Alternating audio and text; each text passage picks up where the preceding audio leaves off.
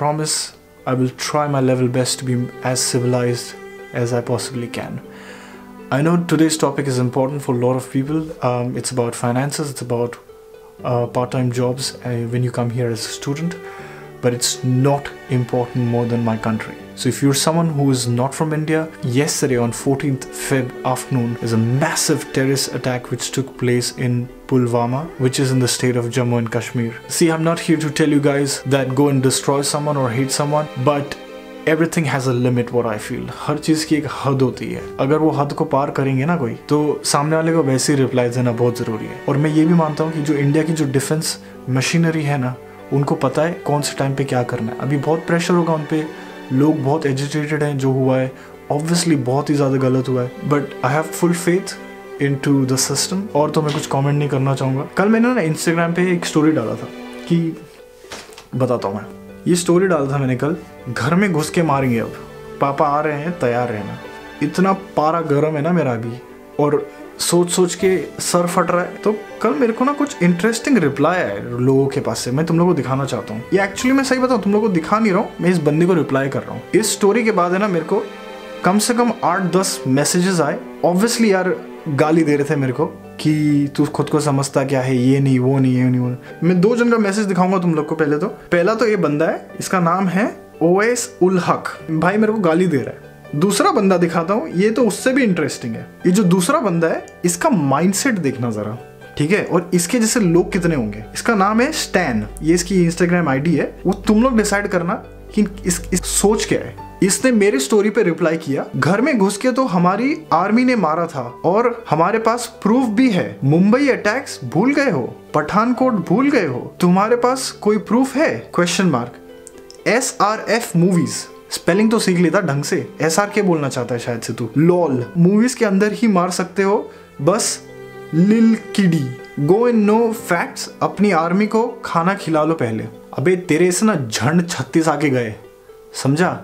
कभी बाहर आएगा ना, अपना देश छोड़ के औकात दिखा देंगे तेरे को लोग तेरी क्या है। Anyway guys I can only pray for the losses families की जो हालत है, हम हम लोग कोई इमेजिन भी नहीं कर सकते हैं। आई होप हमारा जो सिस्टम है, हमारा जो गवर्नमेंट है, हमारी जो स्टेट गवर्नमेंट है, ये हेल्प करे फैमिलीज़ को, जो उनके लॉसेस हुए हैं, उनको फाइनेंशियली मॉरली जो भी हो सकता है just so you guys are aware of यहाँ पर हर किसी में गंदा वाला गुस्सा हुआ है, भरा पड़ा है। या let's start the video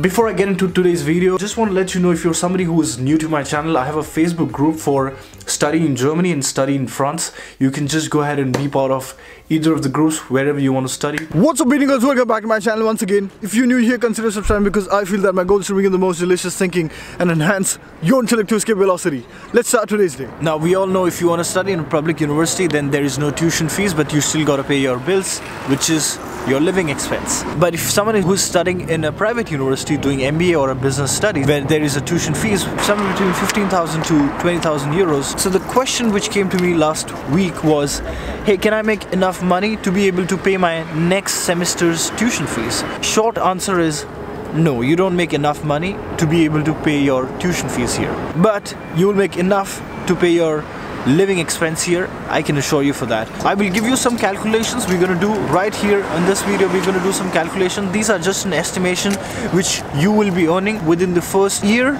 and how that ear is divided. So I may be confusing you right now, but don't worry, uh, stick till the last. I'm going to give you more clarity on this. As soon as there's sun, everybody is out of the house and that's a good sign. At least people get to smile and shine. I'm going to be discussing this topic. Let's go home because I don't want you guys to be distracted by anything. Alright guys, so let's begin with the first question. What documents you should have if you want to go and do part-time job for some company or a restaurant or any kind of job? They would ask you for a few things. Number one is your Where is your address uh, registered? Where are you staying? Second, they would ask you for your tax ID number. Third thing, they would ask you for your social security number. These two things can only be acquired once you have Anmeldung done. It is the important document if you really want to start your life as soon as you arrive in Germany. The good part about all this thing is you do not need to pay any money to get all these things done. You simply have to go to the local authorities, Google it simply wherever, whichever city you are gonna be staying. So going forward from here on, since we know which documents you should have, there are two types of part-time jobs what I've seen and I've done that is mini job, which could be your weekend job, which could be your twice a week job, which could be once a week job, and the other is part-time job which is more or less like a 20 hour job so focusing on these two things mini job means you get paid until 450 euros or less if you have a part-time job means you have to pay taxes you fall in student tax bracket anyway what is important for you to know is Am I doing a mini job or is there a possibility of doing a mini job somewhere? Or should I take up a part-time job which is more or less like 20 hours? A lot of people also have this question of how many hours can we work in Germany while we are a student? In fact, same logic and law applies in France also. So you can work for 20 hours per week. It's up to you and employers to decide whether you want to do divide 4 hours, 4 hours, 4 hours for next 5 days or do you want to divide 8 hours, 8 hours and then the rest of the hours.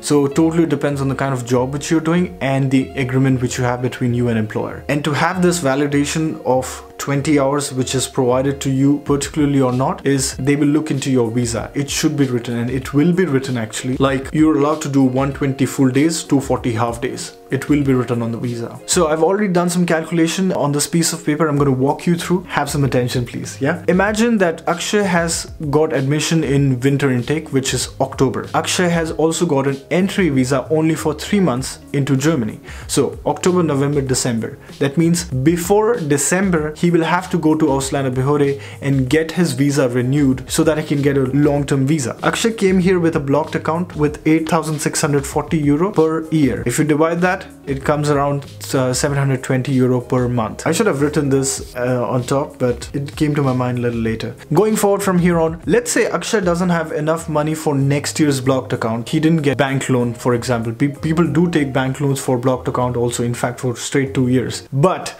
Akshay is not in a position to get a blocked account done for second year. Then the only option what he's left is as soon as he comes the first year he is safe because he has come here with a blocked account. In that period he has to make enough money so that he can carry forward that money to next year. Let me explain you better now. First year akshay has 12 months in his hand. So as soon as anybody who arrives in this country they just can't just start their part-time job just like that. They need at least one or two months to settle down and get all their paperwork done get the accommodation done. Let's say out of those one year which is 12 months you give two months to settle down here with all your paperwork mentally and everything. Now you're left with 10 more months in your hand before that year ends. Now, in the same year, you have two semesters. So in Germany, there are a total of four semesters because you're studying masters, let's say. When I say two semesters, two times you have to give exams in a year. And if that exam goes on for one, one month, uh, let's say one month in summer, one month in winter, that means out of those 10 months previously, you're left with eight months in your hand. Even from that eight months, let's say you decide to, within the first year, you decide to go back home for a vacation because you already gave one of the semester exams and you have a break now and you, you know, you feel like going home and miss, you're missing your family. So out of those eight months, your one month is gone for vacation and now you're left with seven months in your hand. Worst case scenario, let's minus one more month for some reason. You don't know, there's a lot of uncertainty on the way. Now, this is where I've written average you're left with six months in your hand to go and do part-time job and make some money so that you're prepared for next year. I really hope I'm not confusing you. Moving forward, let's say Akshay's got a job in one of the restaurant or a bar and he's doing a waiter job there. And that job it gives him 9 euro for an hour. By law he is allowed to work 20 hours per week. That means 20 multiplied by 9 is 180 euros. That's what he makes a week after working 20 hours. And if you multiply 180 times 4 which comes up to 720. Now this 720 is before tax. After deduction of tax it's not much on students. On an average what I can expect him to get in his hand would be 650 to 680 euros. That's what he's making by the end of the month after working for 20 hours per week. So stay with me. Let's move forward now. Let's say worst case scenario, he gets paid around 650 euros after tax in his hand. So 650 multiplied by 6 months what he had in his hand, it comes up to 3,900 euros. That's what you make in your hand. Close to 4,000 euros you're making because you, when you do a waiter job, you also get paid tips and all that over the top, which is never calculated. By the end of six months, 3,900 euros, that's what you're making. So if you look at carefully now, on one hand side, you're paying money from your blocked account, which is going outside. And from the other side, from your uh, waiter job, you're throwing in the money, you're collecting the money for next year. I hope I did not confuse you guys. But yeah, this is the average pay usually you can expect to get uh, if you do this kind of job. It totally depends on the kind of job. I've seen some people getting paid 24 euros for an hour, uh, like web designing, like uh, artificial intelligence guys like digital uh, marketing guys. So totally depends on how much are you getting per hour. So if you guys want to know which websites to go and apply for part-time jobs make sure that you check my video about internship and part-time job which I've done some time back and go and check the description of that video. Alright guys I hope you enjoyed this video. Hit that thumbs up button and I'll see you guys next time. Bye bye